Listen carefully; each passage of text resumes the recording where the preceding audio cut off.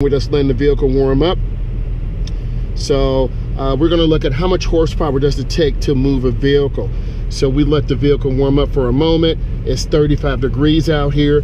So seatbelts on, we're safe.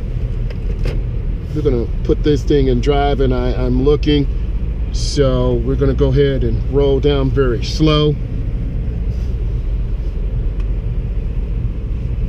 And then we get the wipers on.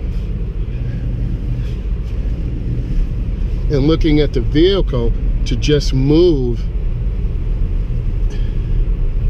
And then we're gonna go ahead and put this thing into snow. So we're gonna stop for a moment. If you look at the dashboard, uh, if we were at the track, uh, this is track mode. This is all out. We're just tearing it up. Uh, this is sport mode for spirited driving. This is the auto, but we're in snow. So we're gonna go ahead and put it in. This makes the vehicle shift in second gear. So torque, uh, about 26 foot-pounds to move it. Remember, torque is to twisting force, right? If I lift my foot off the gas, we're just rolling. If I push the gas, then we're go ahead and go ahead and move.